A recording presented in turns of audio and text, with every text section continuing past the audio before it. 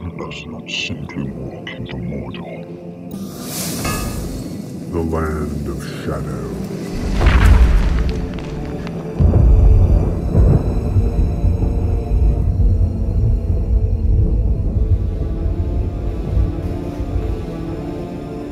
Welcome everyone. In today's Shadowcast, we have a lore video focusing on one of the creepiest of the servants of Shadow, the mouth of Sauron. Uh, he was a figure of great mystery in Middle Earth, and as an emissary to the Dark Tower, he came forth from the Black Gate to negotiate the surrender of the captains of the West.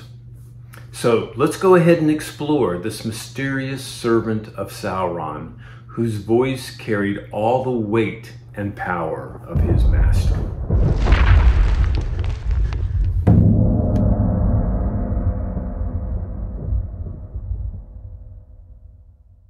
Little is known about the one who came forth before the assembled captains of the West as they stood at the very feet of the Black Gate of Mordor.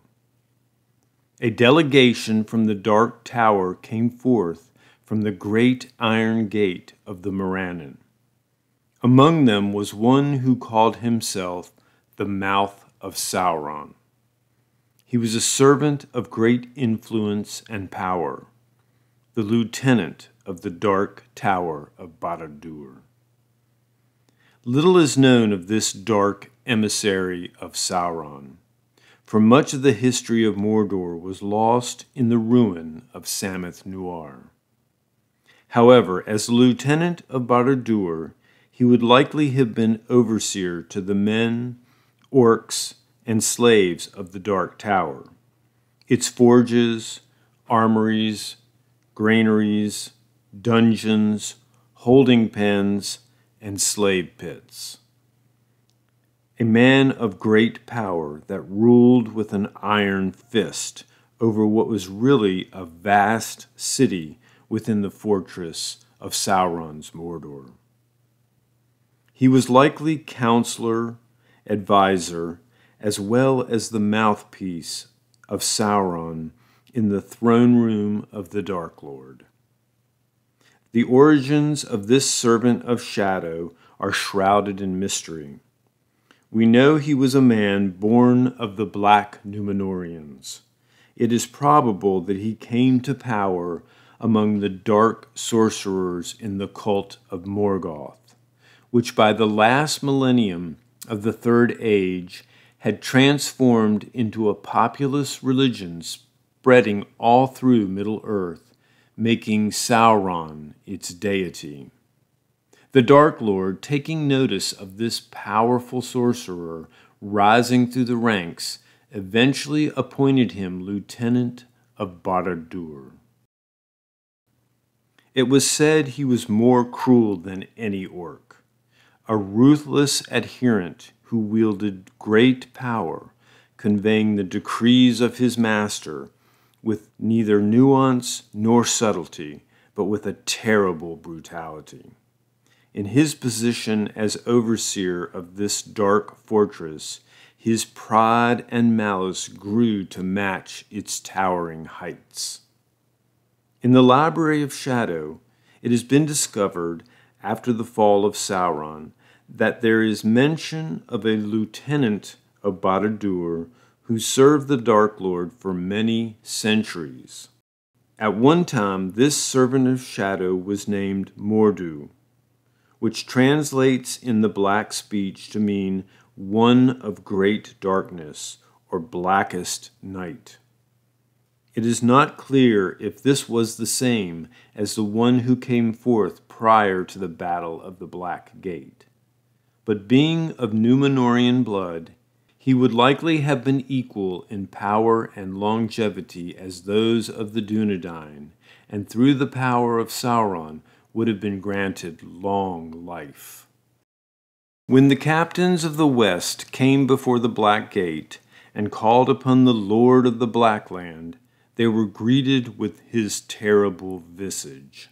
It is said he came forth with an embassy of soldiery from the Dark Tower riding upon a black horse that was huge and hideous. Its face, a frightful mask, more skull than living head, with flame in the sockets of its eyes and breathing fire from its nostrils. Robed all in black, with a lofty helm, the mouth of Sauron looked down upon the captains of the West with malice and contempt. The Dark Lord, choosing to play with his captors, before killing them, had his embassy show the captains of the West tokens taken from Frodo in Cirith Ungol. Believing he was a captured spy, the mouth of Sauron intended to use him to set terms of surrender.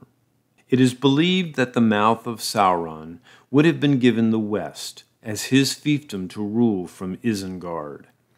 His desire and lust for power was thwarted by Gandalf, who refused his terms and insulted his pride. The mouth of Sauron, barely able to contain his wrath, unleashed the armies of Mordor upon the captains of the West. The fate of the mouth of Sauron is unknown. Some believe he fled back into the Vale of Udun after being threatened with death, while others believed he fell at the stroke of Aragorn's sword. Either way, he likely perished when the Black Gate and the walls of Udun fell into ruin after the ring went into the fire. In The Lord of the Rings, Tolkien wrote that the mouth of Sauron retreated back into Mordor. This same story arc was used in the animated Rankin Bass production of Return of the King in 1980.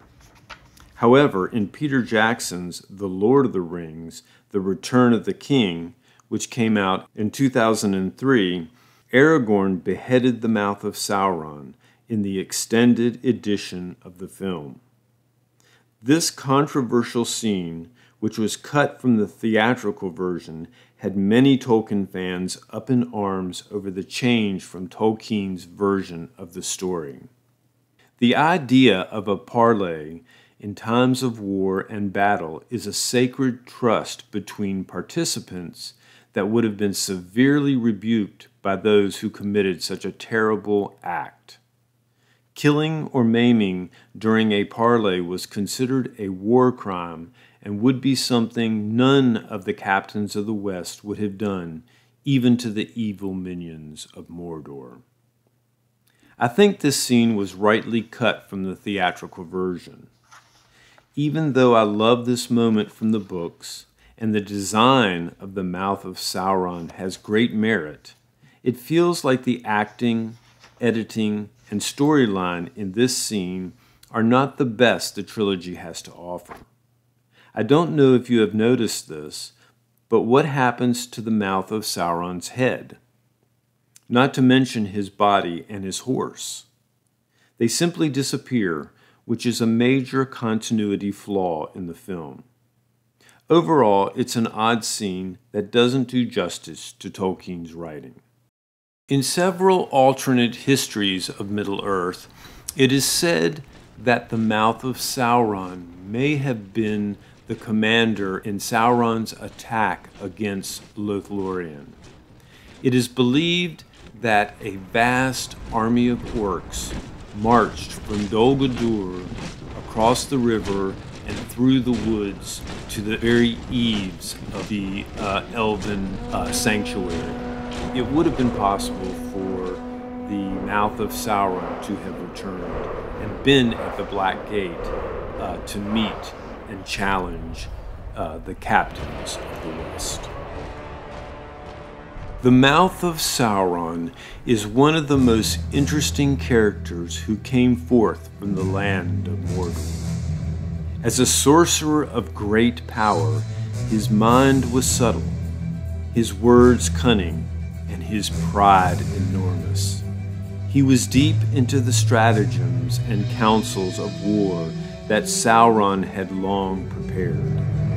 His command over the vast fortress of Barad-dûr was cruel and brutal, and he wielded great power in the land of shadow.